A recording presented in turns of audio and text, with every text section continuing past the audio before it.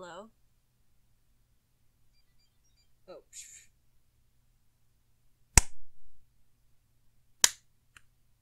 Synced.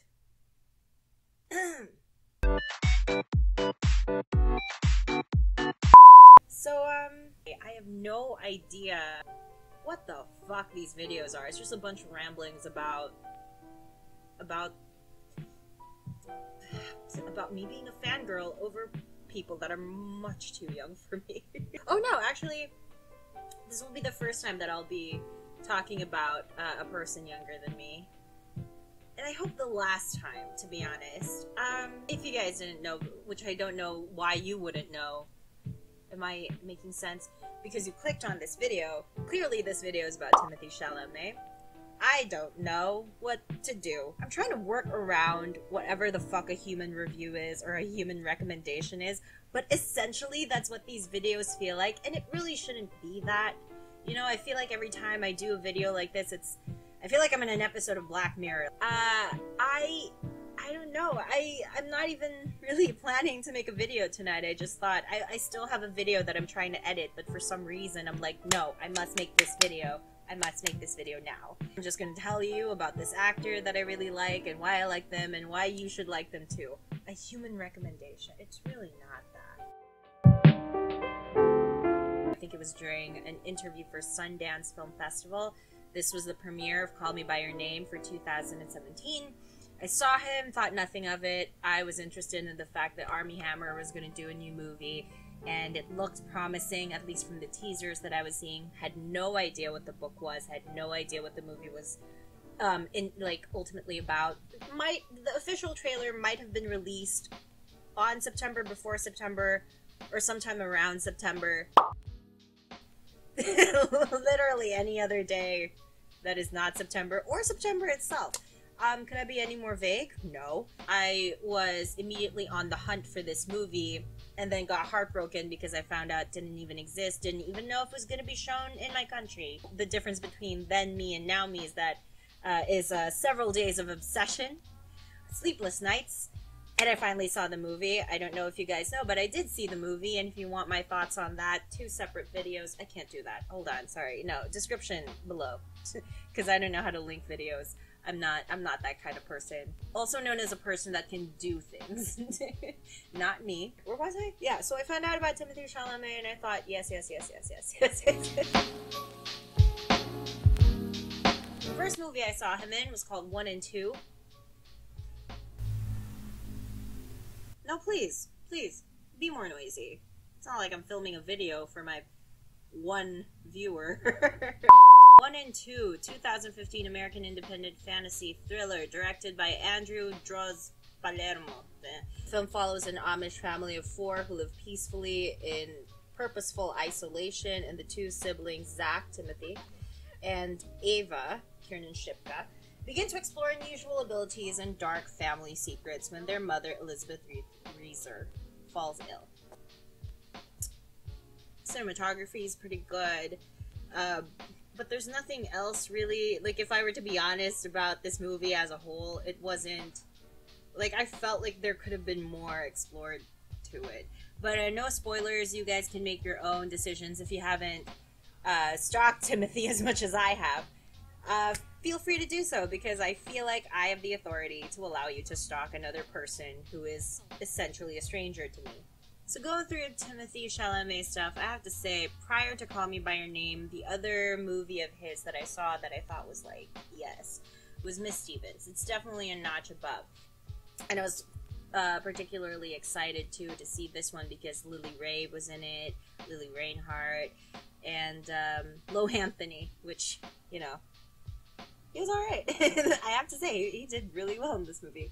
Miss Stevens, released in 2016, directed by Julia Hart, written by Julia Hart and Jordan Horowitz, stars Lily Rabe, Chalamet, Reinhart, and Lohanthony. I will forever know him as Lohanthony. What do you teach? I'm an English. I teach. I'm an English teacher. I I teach English. Do you have a boyfriend? Seriously? Leave Rachel alone. Rachel? Wow. Oh no, this is way too long. Oh no, the probably spoilers in that. Don't look at that. Don't look at that. Essentially, the movie revolves around Lily Rabe's character. She plays well, Miss Stevens. I was gonna refer to my phone for that for some reason.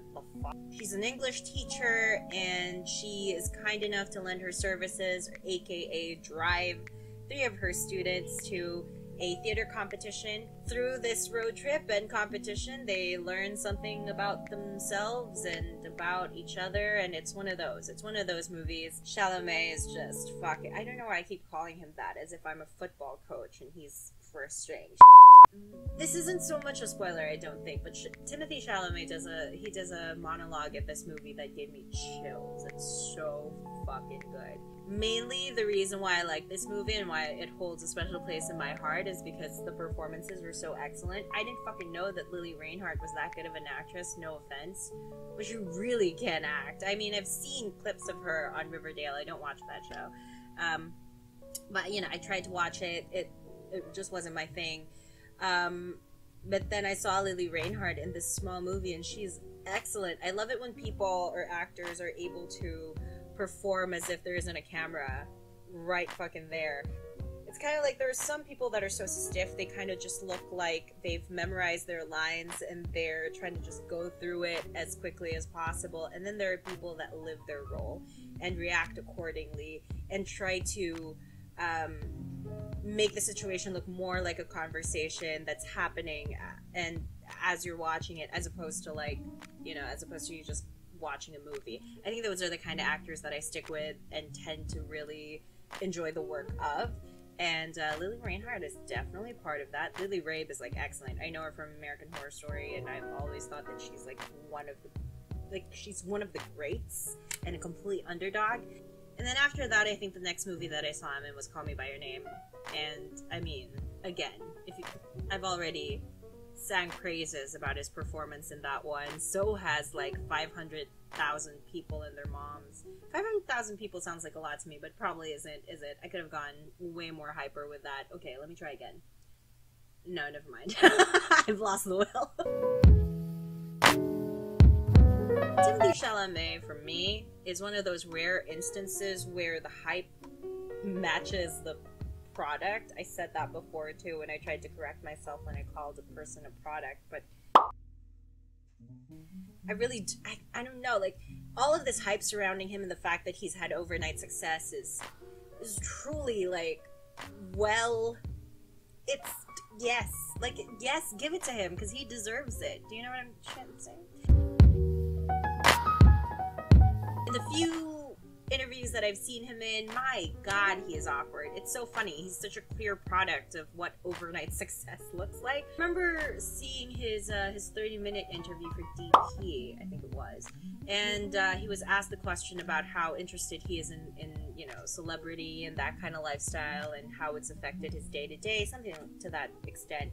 And I love his answer. He said that. Um, it's it's a funny thing to talk about or to be at, at the center of because it's so beyond his control and you know you could be the it person now and then tomorrow they could easily replace you. And i think that's a really good mentality to have but you know not that i've ever been in that industry or that i know anyone.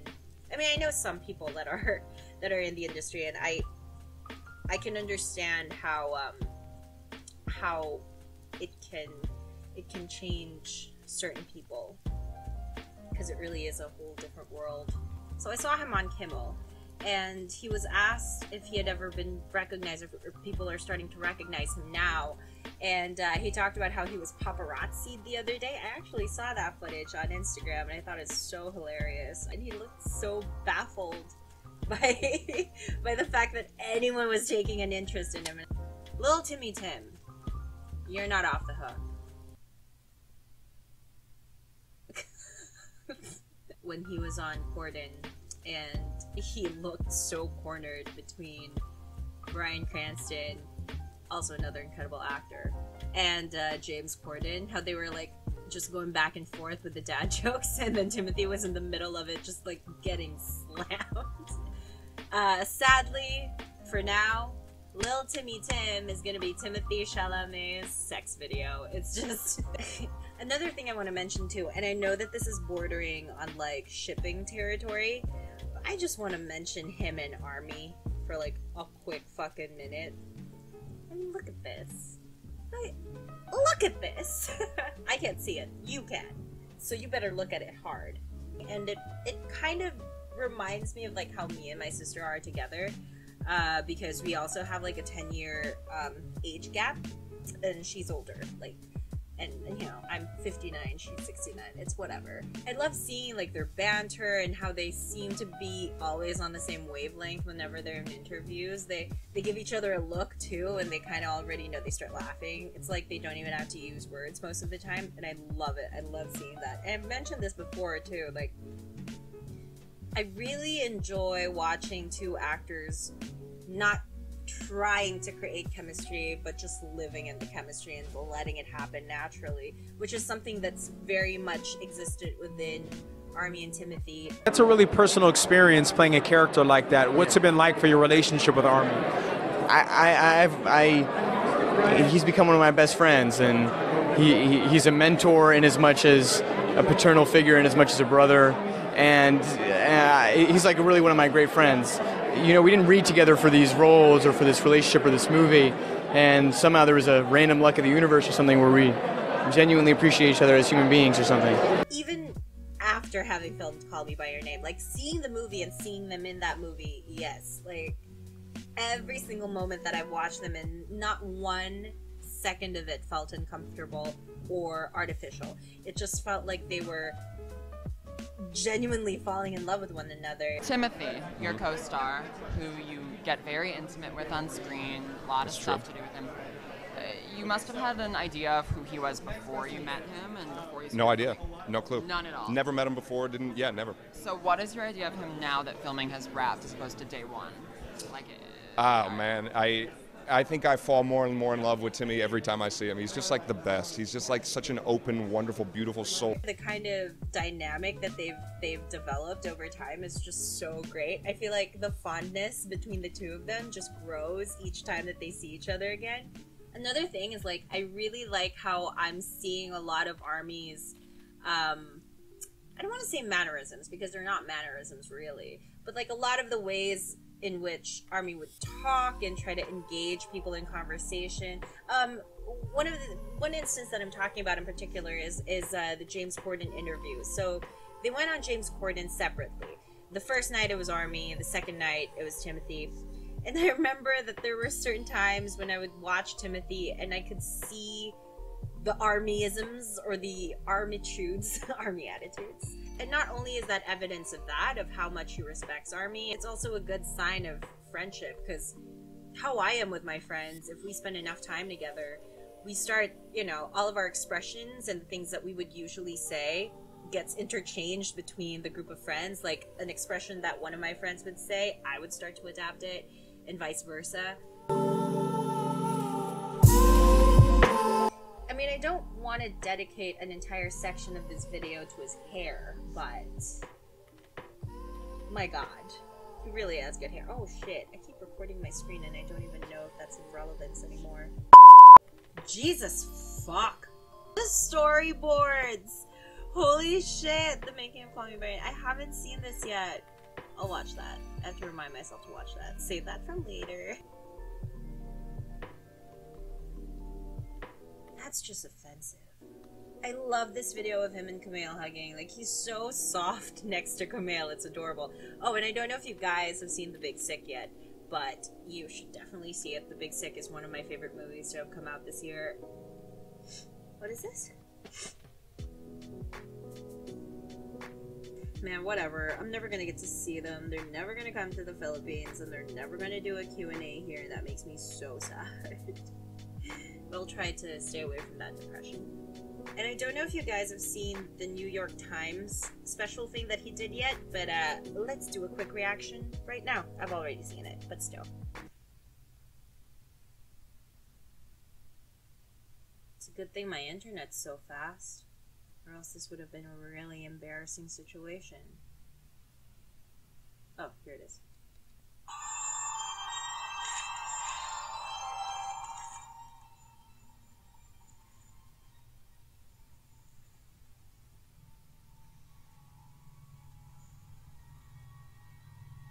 Random aubergines. Someone perioded in that napkin. I don't know why he's still using that.